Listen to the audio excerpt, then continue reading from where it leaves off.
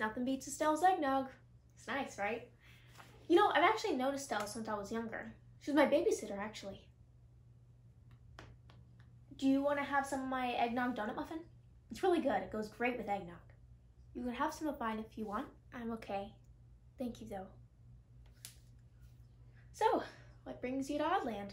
I was on my way to my parents for Christmas, and I got lost, and so now I'm here.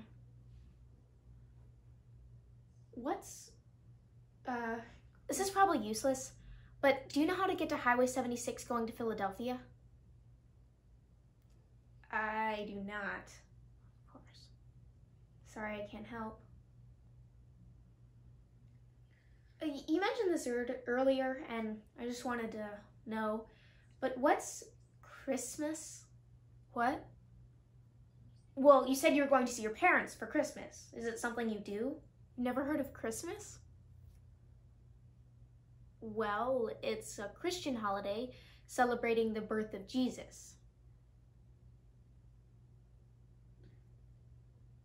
This place is really different from Pittsburgh.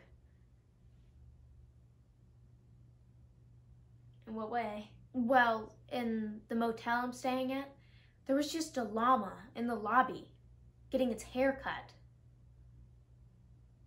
Really weird. Oh, yeah, Bamboo. He's cute, isn't he? Sheds a lot. Who? Uh, the llama. It's not common in Pittsburgh. I'd like to see Pittsburgh sometime. Sounds interesting. You know, you shouldn't be staying in a motel. Their soap smells like nothing. You can stay with me in my apartment. Our soap smells like mangoes. Really? Well, thank you, but I don't really know you. Well, of course you don't have to if you don't want to. But you won't have to pay. Okay. Thank you. Yeah. We should probably head out though before before everyone gets back. You have roommates? Starts working. Housemates. We don't live in the same room. But they're really nice. You'll like them.